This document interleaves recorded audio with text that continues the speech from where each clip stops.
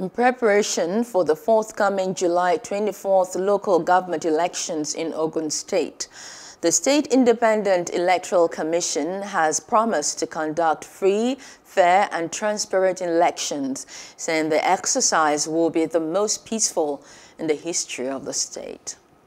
The chairman of the commission, Mr. Babatunde Oshibodu, disclosed this while revealing the guidelines for the poll at a stakeholders meeting with political parties, civil society groups, aspirants, as well as other relevant bodies in Abeokuta, the state capital, on Monday. He assured that the local council's election will be true reflection of the people's wishes and aspirations. That in the conduct of these elections we shall be fair, we shall be equitable, we shall be just, we shall be even handed, we shall be unbiased, we shall be open, and we shall be transparent. And we shall listen.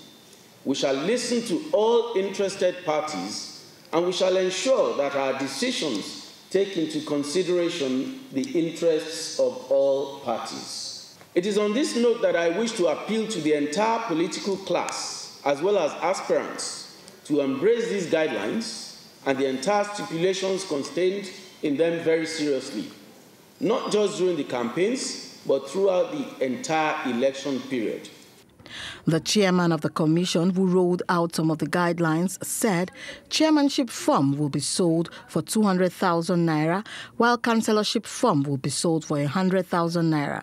Revealed that forms will be given to women for free.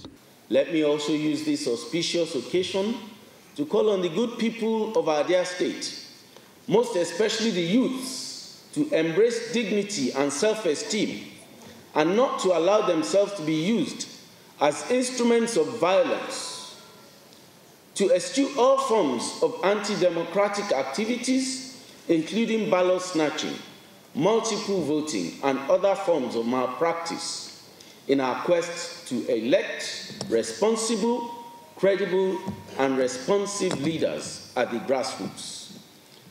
And also at this point, I should emphasize that we are working closely with the law enforcement agencies to ensure that violence in these campaigns and elections are brought to the very, very, very minimum, if not completely eliminated. Hello. Hope you enjoyed the news. Please do subscribe to our YouTube channel and don't forget to hit the notification button so you get notified about fresh news updates.